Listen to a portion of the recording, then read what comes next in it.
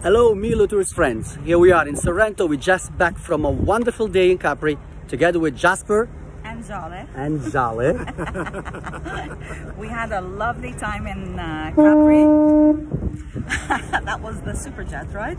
Right. Uh, we went with Milo Tours, we went with Mario. It was absolutely unforgettable. I highly, highly recommend it to any and everybody.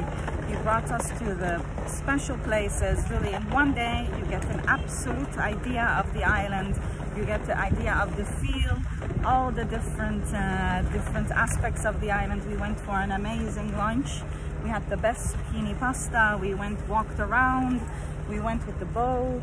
We met all the uh, nice people also that uh, that Milo Tours Mario knows at the island. He knows the island inside out. He's a local it native. Was, it was awesome because you get to see like places that yeah. you would normally not, not go, go, to. You would not discover them. So thanks to Mario, thanks to Milo, we made a wonderful discovery of Capri. Really, we really enjoyed really. it. We had a from the second day. from the second we entered Capri till the last minute.